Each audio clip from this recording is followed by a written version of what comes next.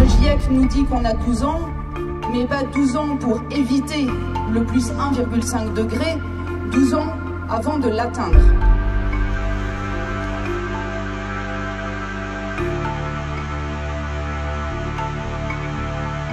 Quand l'État abandonne délibérément sa responsabilité de protéger ses citoyennes et citoyens, il rompt lui-même le contrat social.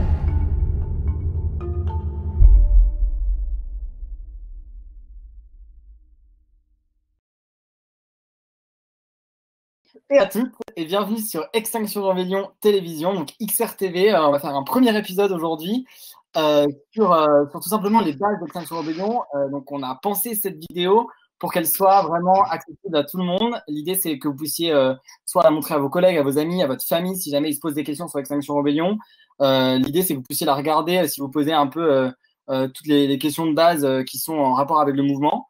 Du coup, voilà, donc on va commencer tous ensemble ce premier épisode avec trois personnes qui sont là pour parler de- d'Extinction Rebellion. Il y aura Héraclès, Jadzon et Mangoa qui vont tout de suite se présenter à vous. Je laisse prendre la parole. Vas-y, Héraclès, je te laisse te présenter.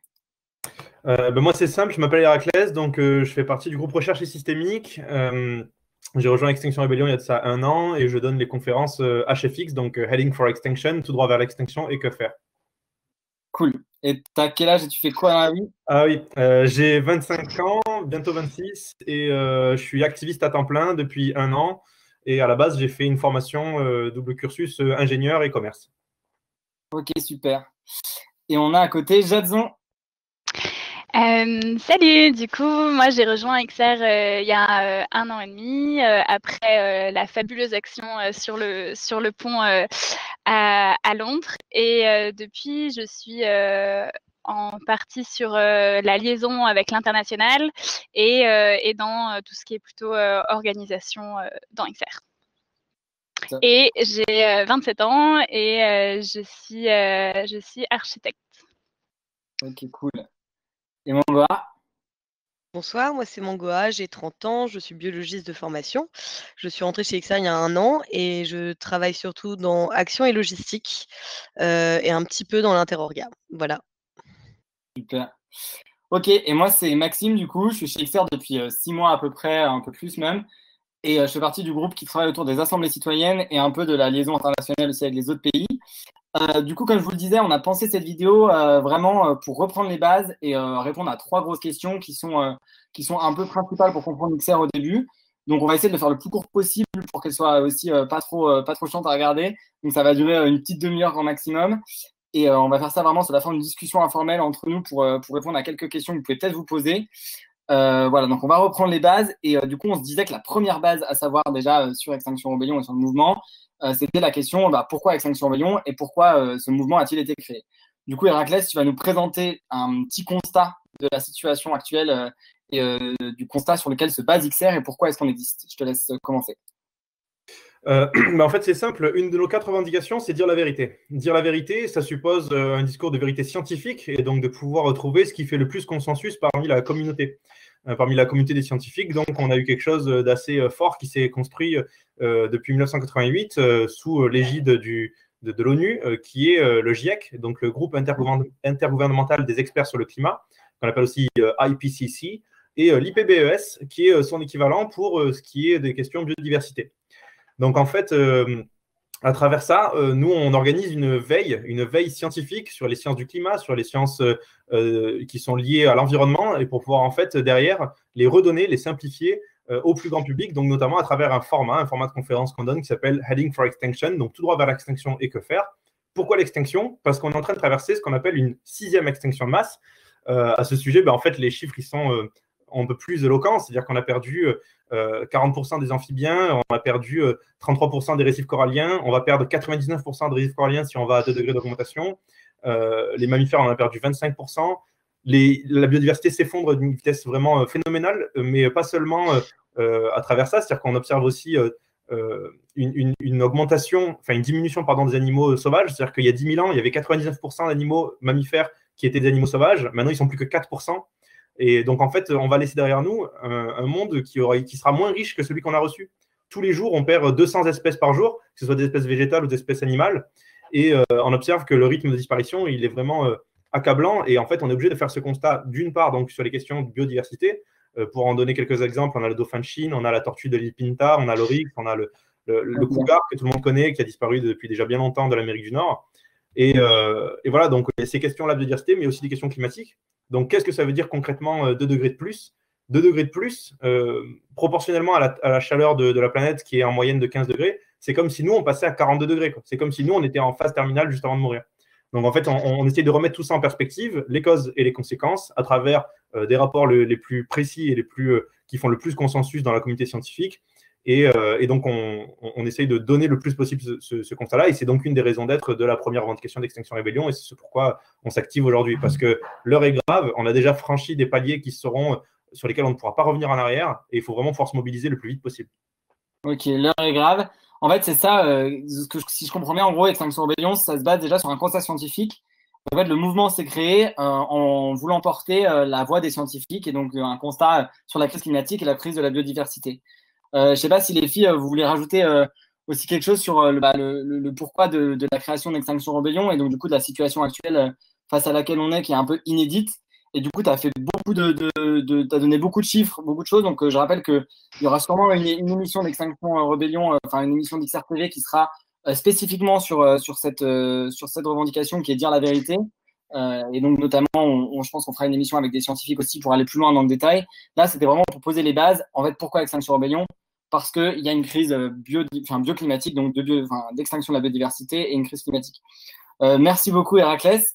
Si euh, vous avez rien à rajouter là-dessus, les filles, je propose qu'on passe à l'autre question. Du coup, ok, on a compris qu'il y a une crise, euh, y a une crise en ce moment, que depuis un moment déjà, que Extinction Rebellion, du coup, s'est mis en mouvement euh, bah, pour porter la voix des scientifiques dans le, dans le, débat, dans le débat public. mais du coup, comment, comment ça fonctionne Extinction Rebellion et du coup, quel, quel mode d'action on a choisi? Et je crois qu'il y a quelque chose qui s'appelle la désobéissance civile, si je ne me trompe pas, qu'on utilise chez XR. Et Mongoa, tu vas nous en dire un peu plus déjà. Ça veut dire quoi Désobéissance civile, tout simplement? Alors, la désobéissance civile, c'est surtout un moyen et c'est le refus d'assumer euh, publiquement de se soumettre à une loi. Donc, euh, le thème, il apparaît pour la première fois dans l'essai La désobéissance civile. Donc, c'est bien, le, nom est facile à retenir, de Taureau. Et en fait, euh, Taureau, il explique son refus de se soumettre à l'impôt qui finance la guerre au Mexique. Et donc, c'est lui qui a concept... enfin, ça a été le premier à conceptualiser ça. Et donc, derrière. De base, la désobéissance civile, c'est juste un gars qui refuse de payer ses impôts. Oui, mais alors, c'est pas pour garder l'argent pour lui, hein, c'est vraiment, dans un fin enfin, dans un but, commun et justement, c'est tous les concepts qu'il y a derrière. C'est, donc, de violer, une loi délibérément, de manière consciente et intentionnelle et le faire, pour, pas pour soi, égoïstement, parce qu'il y a plein de gens qui violent les des lois, en fait, ça c'est pas c'est pas nouveau, mais c'est fait justement pour, animer un débat et créer un espace, public et attirer l'attention, en fait. Donc il y a cette partie-là et aussi utiliser les tribunaux comme tribunes politiques justement pour, dire, pour montrer notre désaccord de manière très très forte. Et aujourd'hui, quand on voit le constat que Héraclès a fait et par rapport à, la catastrophe vertigineuse dans laquelle on va, aujourd'hui, on a des, enfin, Extinction Rebellion a choisi ce mode qui est la désobéissance civile pour se défendre et pour faire bouger les lignes. Mais du coup, par exemple, si moi je respecte pas le confinement, là, qui est, du coup, j'en ferai une loi, euh, en gros, je fais de la désobéissance civile, par exemple. Tout dépend pourquoi tu brises le confinement. Si c'est pour euh, peut-être faire une action et, montrer qu'on n'est pas d'accord avec euh, le financement des 20 milliards faits à l'industrie aéronautique ou l'industrie de, l'automobile, peut-être, mais si c'est pour faire la fête, peut-être pas. Donc tout dépend en fait de l'intérêt que tu mets entre le commun, l'intérêt commun et l'intérêt personnel. Et la désobéissance civile, c'est vraiment remettre au centre les intérêts communs. et c'est ça le plus important et ce qu'il faut garder en ligne de mire. Ok. Et du coup, il me semble qu'il y a aussi un autre, euh, euh, mot important dans, le mode d'action d'XR qui est la non-violence. Donc la désobéissance civile non violente, c'est, quoi et pourquoi en fait XR a choisi euh, ce mode d'action-là?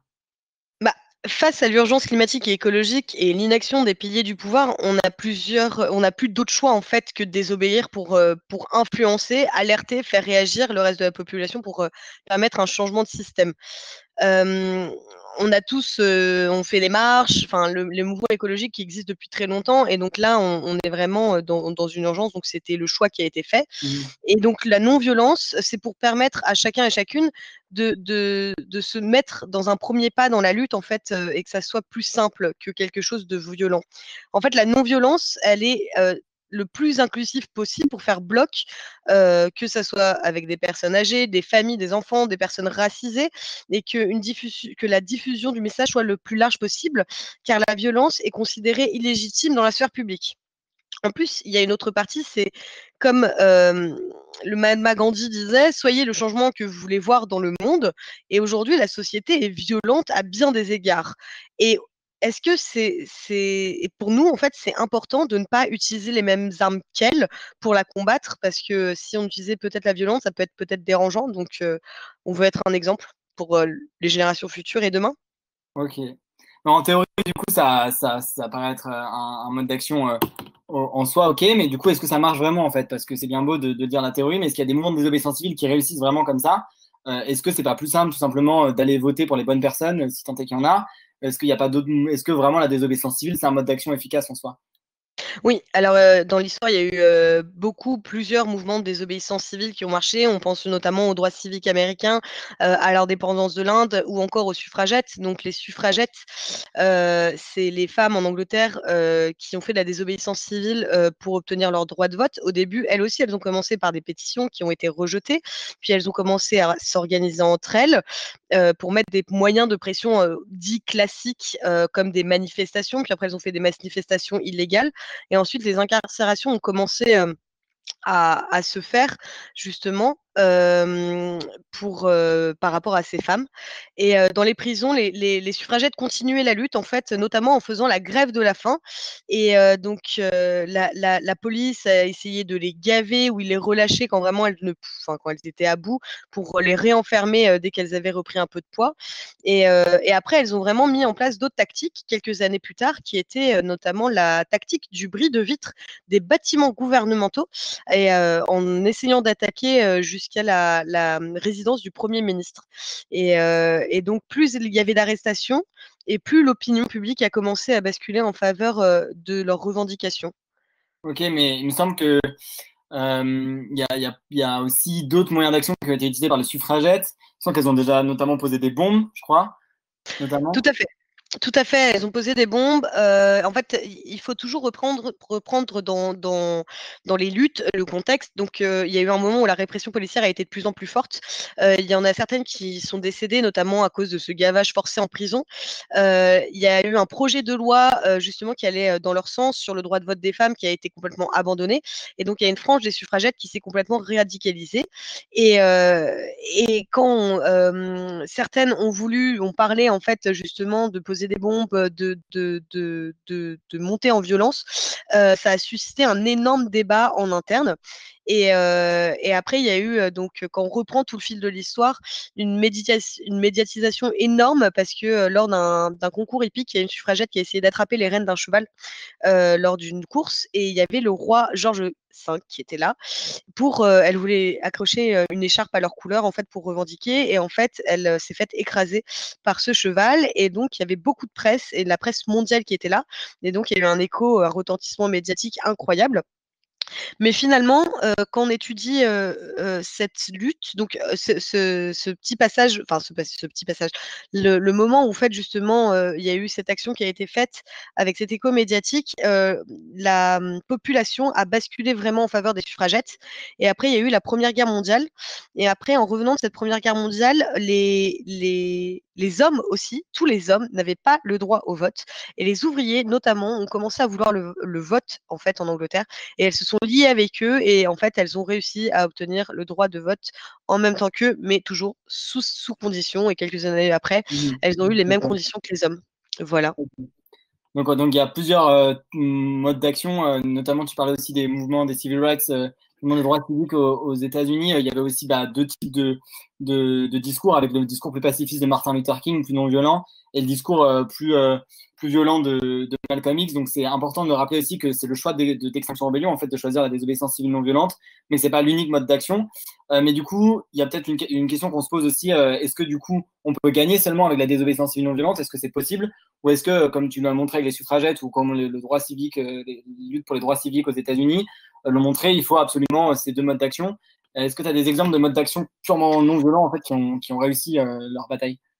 Ouais, alors, comme tu l'as dit, la, plupart des luttes ont une diversité de tactiques et il y en a quelques-unes euh, qui, euh, qui ont justement réussi avec euh, seulement des moyens non violents. Et on peut penser notamment à la lutte contre les parcelles d'essai et de culture en plein champ d'OGM en France. donc, en fait, les modes d'action, c'était la destruction des champs d'OGM. À visage découvert, on, se souvient dans les années justement 2000 de José Bové en train de, de détruire ces champs-là. Et puis, ils ont aussi fait des pétitions, des manifestations. Ils sont allés jusqu'au procès, en fait, où il y a eu une véritable tribune politique qui a été faite. Et donc, euh, les résultats, c'est qu'il y a eu l'interdiction euh, rapidement euh, de, ces parcelles. Et, ce qui est vraiment intéressant, c'est que l'opinion publique a pu être alertée et a pu se positionner par rapport à ça. Et politiquement, les, politiques ont préféré, en fait, agir dans ce sens-là et de laisser tomber ça. En fait, le choix de la désobéissance civile comme moyen de lutte se fait en fonction du contexte local, de la culture, de la répression du régime, du nombre de personnes qui luttent. Enfin, c'est quelque chose de très, très compliqué. Euh, les luttes sont complémentaires et dans notre combat, il existe aussi une diversité tactique. Aujourd'hui, euh, Extinction Rebellion a, comme je l'ai dit, fait le choix de la désobéissance civile non violente pour être le plus inclusif possible, pour être le plus massif possible. Mais euh, ça n'empêche pas qu'on sait qu'il y a d'autres tactiques de lutte qui existent et qui se côtoient. Et transition, du coup, on va passer à l'autre question, du coup, la troisième question qu'on voulait aborder ici dans ce premier, dans ce premier épisode d'XRTV. Euh, mais du coup, moi, j'ai envie de poser naïvement la question est-ce qu'il est possible de s'investir dans Extinction Rebellion par d'autres moyens que les arrestations? Parce que là, on a cité des mouvements de désobéissance civile non violente qui pouvaient euh, conduire la plupart du temps du coup à des arrestations euh, puisque, c'est par, par, nature illégal. et du coup, j'ai envie de te poser la question, Jadson comment fonctionne Extinction Rebellion qu'est-ce qu'il y a comme euh, moyen euh, de, comment on peut s'investir et qu'est-ce qu'il y a comme type d'investissement possible à XR, donc chez Extinction Rebellion. Et euh, peut-être que tu vas nous, parler un peu plus aussi du fonctionnement interne du mouvement pour que les gens puissent un peu mieux comprendre comment on fonctionne et quelle est notre stratégie finalement et comment on s'organise. Ouais, alors, il est tout à fait possible de, de, de, faire d'autres choses que, de, que de se faire arrêter et de faire des actions, même si un des, un des une des choses de la désobéissance civile aussi, ça peut être de, de rendre le système le système juridique un petit peu euh, à, bout et, euh, euh, et, donc de faire passer nos revendications en premier.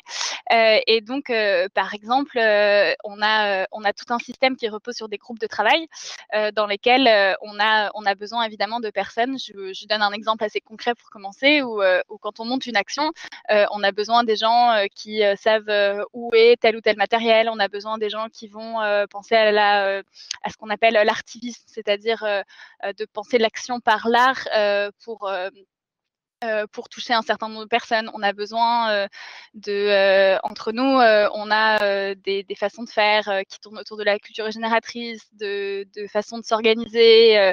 on a forcément, comme dans toute, comme dans toute dans tout mouvement, on a besoin aussi de personnes qui gèrent euh, ce qui est euh, juridique parce que euh, bah, quand il y a des arrestations, il y a aussi, on a aussi un, soutien juridique derrière, etc. Donc il y a plein, plein, plein de, d'autres façons de faire que de se faire arrêter pour participer à Extinction Rebellion. Ok. Et du coup, j'ai envie de poser une question tout de suite aussi sur le fonctionnement plus. On me pose souvent la question, mais qui c'est qui décide à XR et c'est qui les fondateurs? En gros, si on veut s'adresser à quelqu'un, on fait comment? Et qui c'est qui décide? Et comment les décisions sont prises? Euh, c'est plein de questions qui sont euh, hyper importantes, notamment parce que bah, on a un mode de fonctionnement qui est un peu différent aussi de, de beaucoup d'autres ONG. Du coup, peut-être que tu vas en dire deux mots.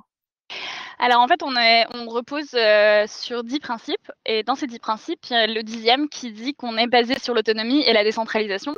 Donc en fait, on va euh, créer ensemble euh, collectivement des structures dont on a besoin pour défier le pouvoir. L'idée, c'est qu'on va pouvoir aussi non seulement se réinventer dans, le, mouvement, donc comme disait tout à l'heure Mangoa, soyons le changement que nous voulons voir. et donc quiconque va suivre ces principes et valeurs fondamentales, donc il faut évidemment un peu comprendre il y a une version longue, peut agir euh, au nom d'Extinction Rebellion. Euh, et donc faire des actions au nom d'Extinction Rebellion.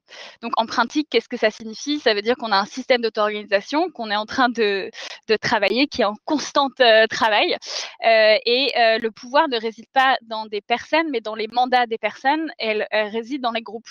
Donc, on s'organise en cercles. Dans ces cercles, on va avoir d'autres cercles. Donc, les grands cercles, c'est les cercles thématiques que je vous ai un petit peu expliqués. Donc, médiatisation, support légal, assemblée citoyenne, formation, artivisme, etc. Et dans ces groupes, on va avoir des sous-groupes euh, avec euh, des systèmes de coordinateurs, coordinatrices qui ne sont pas décisionnaires, mais euh, qui sont des personnes qui vont faire en sorte que le travail vive, soit rendu transparent et puisse être être, enfin, soit transparent d'un groupe à l'autre. Donc en fait, ce ne sont pas les fondateurs ou fondatrices qui décident, mais c'est vraiment ce, système-là. Et on a des systèmes de prise de décision qui sont basés sur le consensus. donc ça veut dire qu'on on, essaye de pas faire de vote, on essaie d'aller d'aller autrement et de penser que il y a des problèmes à, à résoudre ce qu'on appelle des tensions euh, plutôt que des batailles à gagner. Donc, euh, on essaie de réfléchir collectivement et vraiment, l'idée, c'est de se dire est-ce que, euh, ce genre de décision fait grandir le groupe? Est-ce que ce genre de décision fait avancer notre cause ou pas? Donc, c'est plus de fonctionner dans ce sens-là que, que par vote. Ok, super. et du coup, peut-être pour revenir plus directement à quelle est la stratégie d'Extinction Rebellion, donc en fait, euh, on, a, on, a, vu qu'on se basait sur un constat scientifique euh, de la crise bioclimatique. On a vu qu'on utilisait un mode d'action qui était la désobéissance civile non violente. Euh, mais du coup, avec tout ça, on veut aller où? Et c'est quoi notre stratégie en fait? Comme disait euh, Héraclès, euh, le dire la vérité, c'est la première partie. Après, avec Mangonin, on a, un peu vu la deuxième partie qui sont euh, agir maintenant. Et par toutes ces actions, nous, ce qu'on cherche à, mettre au cœur de l'actualité, c'est vraiment d'arriver à l'arrêt des écocides marins terrestres, de leur destruction. Et, et ce qu'on cherche aussi à avoir, c'est la neutralité carbone 2025.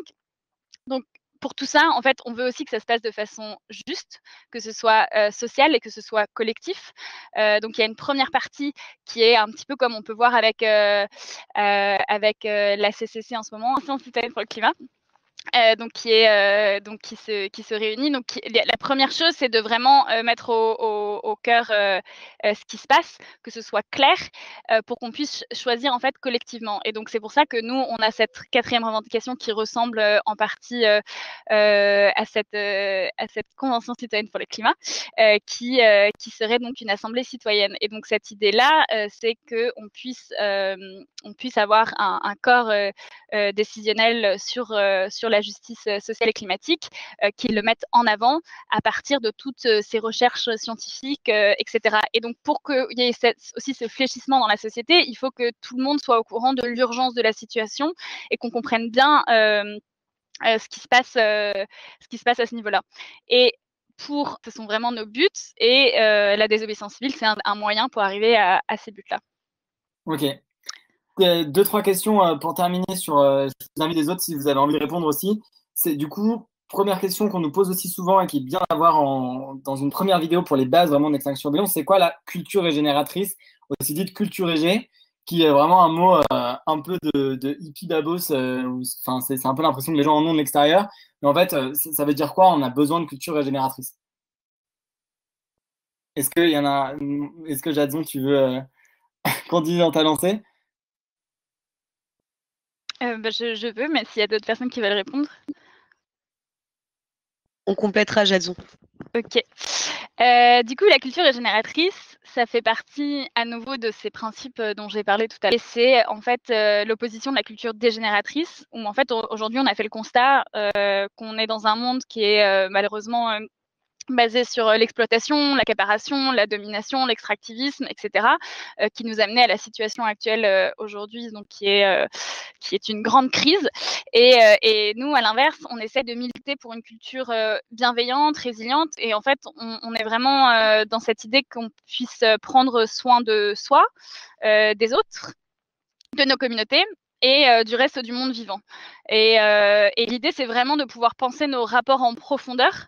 Euh, et, voilà. Donc, ça peut s'incarner très concrètement avec, dans les réunions, des moments pour prendre la température, par exemple, émotionnelle des gens, savoir si c'est ensoleillé, nuageux, orageux. Et ça permet, par exemple, dans une réunion, à ce que comme tout le monde est au courant de si la personne va bien ou pas, de pas forcément prendre les choses personnellement. On peut se dire, ah bah tiens, comme c'est orageux, peut-être que en fait, cette personne, une, personne, une personne qui serait énervée de base, si elle part un peu sèchement, faut pas le prendre personnellement, ou ce genre de choses qui permettent d'éviter un peu toute tension inutile qui viendrait dans un groupe, juste parce que ça dépend aussi des, des, émotions de chacun à un moment donné. Euh, du coup, ça c'est hyper important. Euh, on a bien compris euh, au sein d'Extinction Rebellion, ça s'appelle la culture régénératrice. Et du coup, c'est important de dire que c'est aussi un moyen de s'engager chez Extinction Rebellion. Comme tu le disais, c'est pas uniquement des, actions, des obéissances civiles, des blocages, le fait de, vouloir ou de, pouvoir se faire arrêter par la police, par exemple. Et c'est aussi tout simplement bah, animer des réunions, animer un groupe local, faire en sorte de le faire vivre, organiser des plans de culture régénératrice, etc. Et ça, ça paraît important que tout le monde aussi l'ait en tête.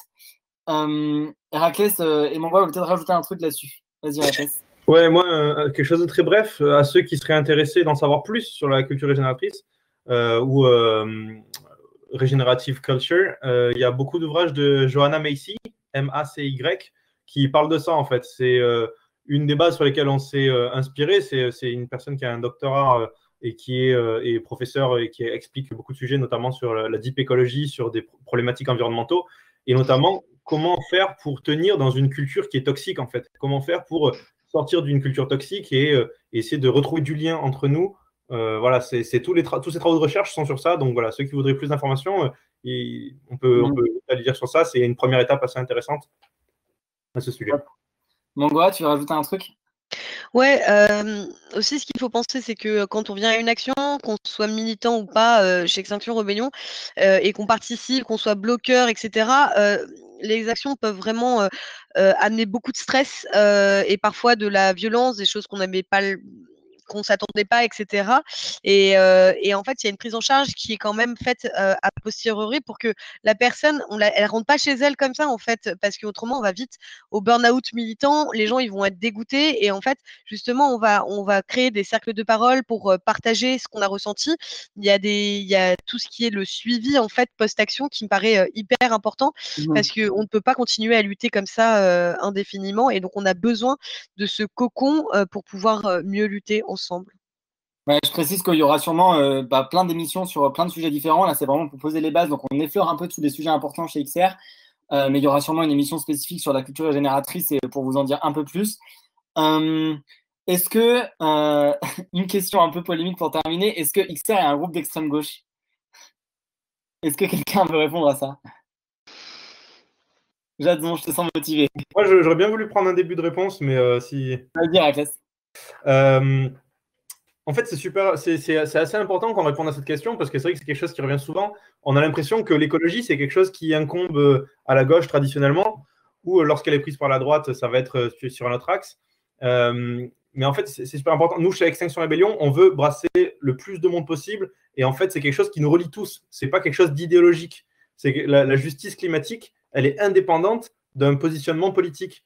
Euh, c'est-à-dire que c'est quelque chose de euh, scientifique, de juste euh, raisonnable et d'être de, prendre la, mesure de l'urgence, ça signifie être responsable. Et être responsable, ça appartient ça, appartient pas à une famille politique en particulier. C'est quelque chose qu'on doit tous pouvoir s'approprier.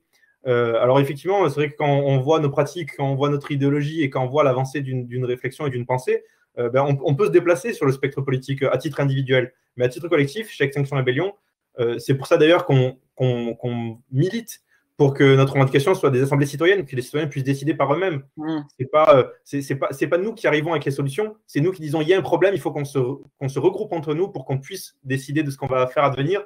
Et voilà, justement, c'est très politique, mais c'est pas, euh, c'est, pas, euh, c'est pas, c'est, pas politique au sens d'un parti politique, c'est pas politique au sens d'un, axe gauche-droite qui serait qui serait pas du tout pertinent parce que là on est vraiment dans une situation qui, qui, qui dépasse tout quoi. Aujourd'hui, euh, laisser l'essentiel de, notre de, nos, énergies fossiles dans le sous-sol, aujourd'hui, essayer de faire en sorte d'avoir une planète habitable, euh, ce n'est pas le monopole de l'extrême gauche. Il faut faire en sorte que ça puisse être mobilisable par n'importe qui dans la population civile.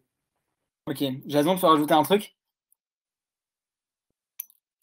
Euh, non, pas particulièrement. Enfin, peut-être un peu de, rebondir sur, sur, sur ça, dans, dans, le sens où ou aussi chez Extinction Rebellion, ce qui est assez important, c'est qu'on puisse, euh, euh, s'auto-apprendre, euh, partager des formations, avoir un système, par exemple, d'auto-réplication. Donc, c'est diffuser des savoirs. Et au-delà de certains groupes politiques, il y, a des, il y, a des, avancées qui sont super chouettes. je repense à notamment l'occupation de Châtelet, où il y avait un groupe de Gilets jaunes qui avait tenu tout un tout un atelier sur, euh, sur euh, l'argent, sur la monnaie libre.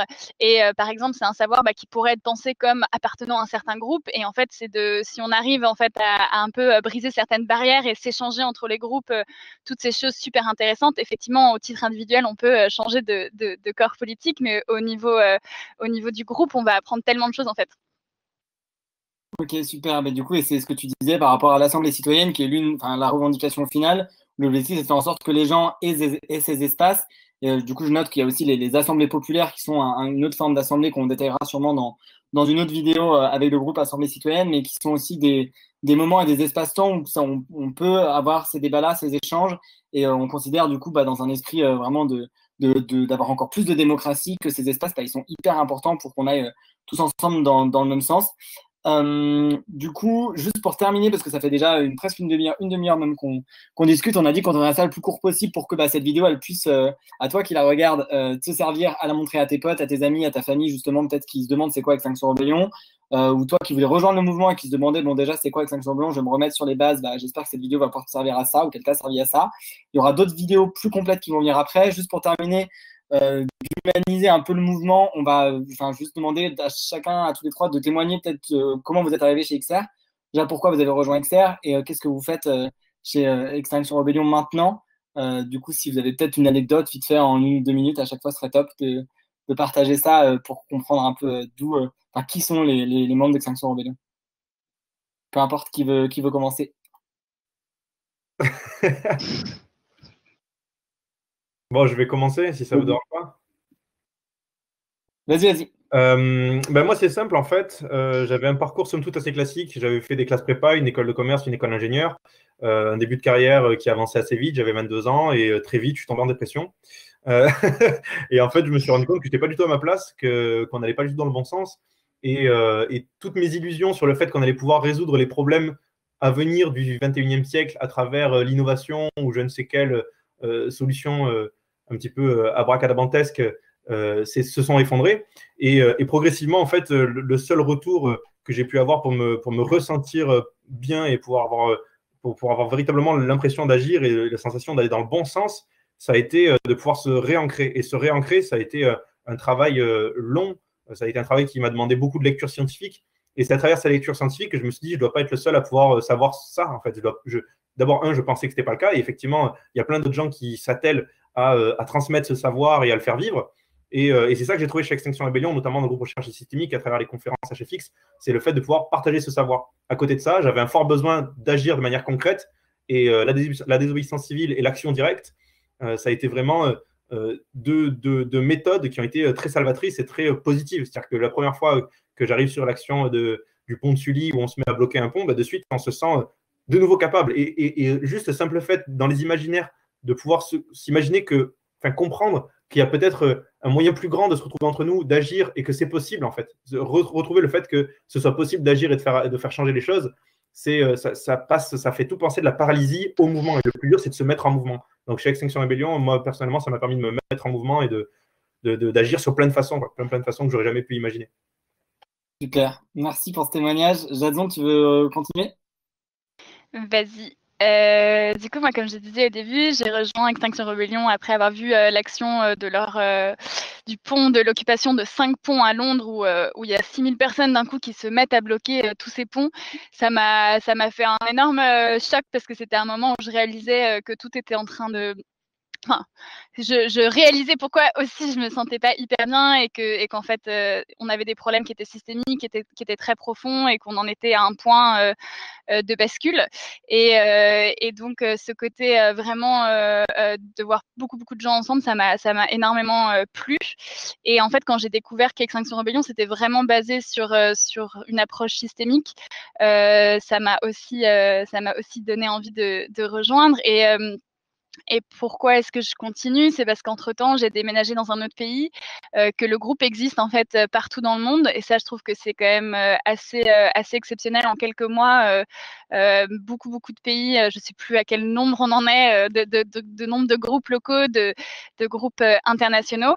Et, donc, je trouve qu'il y a cette espèce d'idée de, culture régénératrice. Alors, à l'international, je le vois au pluriel parfois, mais, de développer ensemble cette résilience euh, cette nouvelle, euh, ces nouveaux mondes au pluriel aussi, euh, parce qu'il n'y en a pas forcément qu'un seul.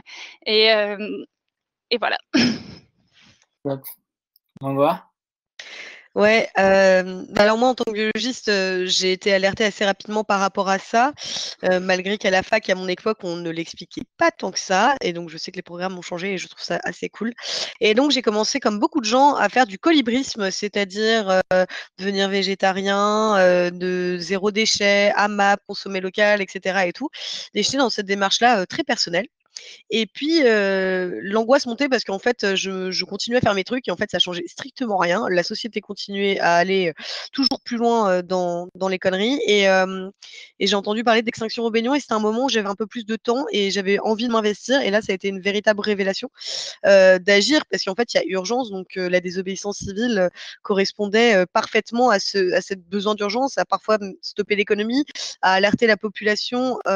justement, quand quand des milliers de personnes, comme en Angleterre, sont prêts à bloquer un pont ou bloquer un, énorme espace, ils prennent leur journée, leur temps à faire ça, alors que franchement, il y a, des choses plus fun à faire, hein, et qui risquent d'aller, qui, n'ont aucun problème d'aller en, en garde à vue, c'est pour dire à quel point il y a urgence en fait. Et ce qui m'a impressionné quand, quand, je suis rentrée chez Extinction Rebellion, c'est de pouvoir parler et échanger avec d'autres rebelles qui aussi en fait partageaient mes angoisses d'effondrement notamment. Et ça c'est vraiment important parce que souvent on se sent seul dans son entourage et pas forcément compris en fait parce que les gens ils ont la tête dans le guidon et ils n'arrivent pas à prendre le recul, ils sont sûrement dans, un, dans une sorte de déni. Et, et ça ça a fait un bien complètement fou et incroyable personnellement. Et aussi se mettre dans l'action, se mettre en mouvement comme l'a dit Héraclès, c'est juste incroyable, ça donne du sens en fait, et, ça c'est important. Et, dans l'histoire, j'espère qu'on va réussir, mais si on échoue, au moins on aura été du bon côté de l'histoire. Et, et, ça fait un peu colibri, mais en fait, j'ai envie de donner toute mon énergie pour, pour pouvoir réussir parce que c'est quelque chose, c'est le commun du vivant, et le vivant, c'est quand même ce qu'on a de plus précieux sur Terre, je pense. Merci beaucoup à tous les trois pour ce super témoignage. Euh, ça fait euh, déjà plus d'une demi-heure qu'on a commencé cette vidéo, du coup on va l'arrêter assez rapidement parce que l'objectif c'était de faire un truc assez court quand même pour que ce soit accessible à un maximum de monde. Euh, on vous rappelle que du coup c'était juste l'épisode 0 en fait de cette XR TV, on tente un truc, on va voir ce que ça donne, il y aura sûrement d'autres épisodes qui vont venir, on va mettre normalement une petite photo du prochain épisode qui aura, qui aura lieu dans peut-être la semaine prochaine ou la semaine d'après. on va essayer de le faire le plus rapidement possible, qui sera sûrement sur les assemblées citoyennes et sur le lien avec la Convention citoyenne pour le climat. Euh, il y aura plein d'autres aussi vidéos sur les autres revendications. On va essayer d'avoir ces temps de témoignages et de paroles aussi pour que chacun puisse comprendre bah, c'est quoi Extinction Rebellion et comment s'engager chez Extinction Rebellion. Euh, puis bah, je sens le besoin aussi de rappeler euh, qu'on n'est pas l'unique façon de s'engager, qu'il y a plein de manières de s'engager dans ces temps de crise, surtout en ce moment. de rappeler toutes les initiatives, que ce soit autour du Covid, donc Covid Entraide, et toutes les pétitions qui ont été lancées en soutien notamment aux soignants et aux soignantes aussi, euh, à qui on dit un grand bravo pour euh, toute leur, euh, leur, mobilisation depuis, bah, la crise, du début de la crise du coronavirus et puis depuis aussi toutes les dernières années où elles ont dû faire face à un, bah, défi, à des, un hôpital public qui était un peu beaucoup touché par la crise actuelle aussi, euh, sans rentrer dans les détails. Mais voilà, du coup, c'est pour dire qu'on fait un grand merci à tous ceux qui se mobilisent et qui s'engagent en règle générale au jour le jour. Un grand merci aux copains et aux copines de toutes les autres euh, organisations aussi, c'est ce que je voulais dire. Il n'y a pas qu'une association, il n'y a pas qu'Extinction Rebellion pour s'engager. On propose une stratégie, un mode d'action qui est basé du coup, comme on ne va pas le répéter, mais sur des constats scientifiques, sur euh, la désobéissance non violente et du coup sur une stratégie qu'on vous a essayé d'un peu expliciter ici, pardon. Et euh, du coup, il y a d'autres. Euh, donc, un grand merci aussi à tous les autres copains et copines qui se mobilisent, euh, que ce soit de Greenpeace à Alternativa, à NVCOP21, au Colibri justement aussi, au Zero Waste, qui font un gros taf au niveau de la sensibilisation autour du zéro déchet. Donc, merci à tout le monde, à tous ceux qui se mobilisent dans cette crise climatique et d'extinction de la biodiversité. on va rendre l'antenne, je sais pas comment on dit, et on vous dit à bientôt dans un prochain numéro d'Extinction Rebellion TV. Ciao Salut